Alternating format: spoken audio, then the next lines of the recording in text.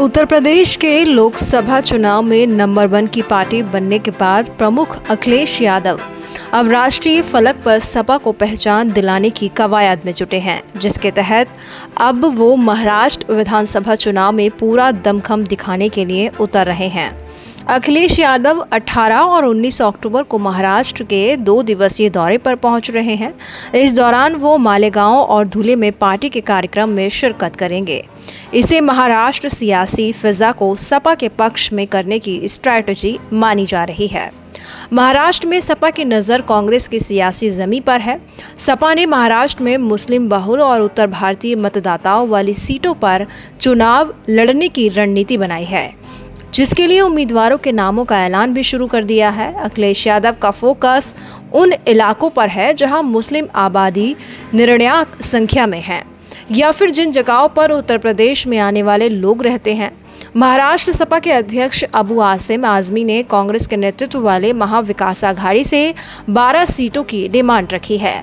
सपा की नज़र मुंबई और उससे सटे ठाणे ज़िले की सीटों पर है। सपा ने मुंबई इलाकों की मानकोर शिवाजी नगर भाई खला, व सोरवा इससे सटे ठाणे की भिंडवी ईस्ट और भिंडवी वेस्ट दोनों सीटों के अलावा महाराष्ट्र की धूलिया और औरंगाबाद जैसे मुस्लिम बहुल विधानसभा सीटों पर अपने उम्मीदवार उतारने की पूरी तैयारी कर रखी है। अबू आसिम आजमी ने महाविकास आघाड़ी गठबंधन के साथ बिना सीट शेयरिंग के भिवंडी की दोनों विधानसभा सीट से प्रत्याशी उतारने का ऐलान किया है। तो कांग्रेस ने भी भिवंडी से विधानसभा चुनाव लड़ने का ऐलान किया है।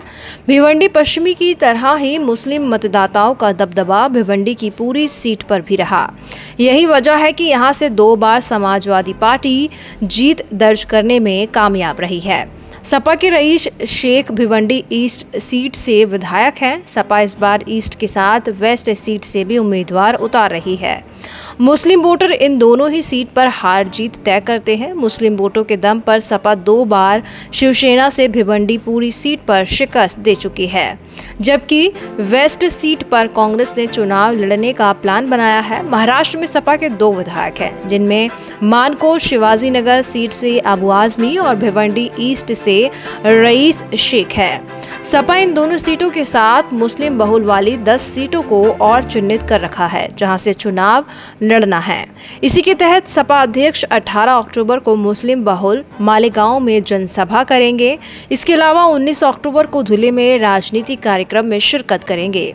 अखिलेश ने यूपी के भी बड़े चेहरों को महाराष्ट्र की ज़िम्मेदारी दी है। सपा महाराष्ट्र में इंडिया गठबंधन के साथ चुनाव लड़ेगी। अखिलेश यादव सीटों को लेकर कांग्रेस पर दबाव बनाने की रणनीति के तहत ही महाराष्ट्र का दौरा कर रहे हैं। ऐसे में अब देखना होगा कि सपा को महाविकास अघाड़ी में शामिल किया जाता है या नहीं। सपा इंडिया गठबंधन में रहकर चुनाव लड़ती है या उसकी सीटिंग दोनों सीटें मिल सकती हैं। इसके अलावा कांग्रेस मुस्लिम बहुल दूसरी सीटें देने के लिए राज़ी नहीं होगी।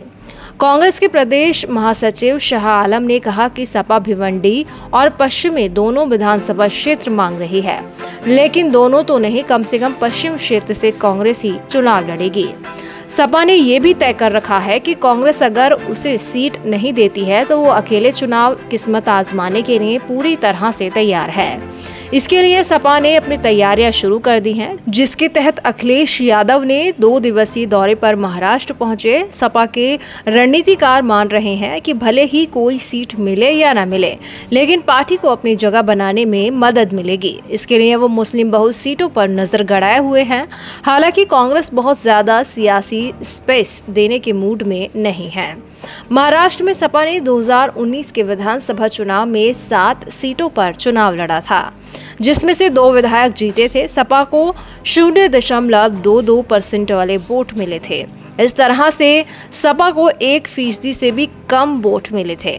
सपा ने इस बार फिर से चुनावी मैदान में उतरने का फैसला भी किया है, लेकिन मुस्लिम बहुल वोटों वाली सीटों पर फोकस किया है। सपा को लगता है कि इंडिया गठबंधन में शामिल हो जाते हैं तो कुछ सीटें मिलती हैं तो आसानी से मुस्लिम वोटर उसके पक्ष में आ सकता है।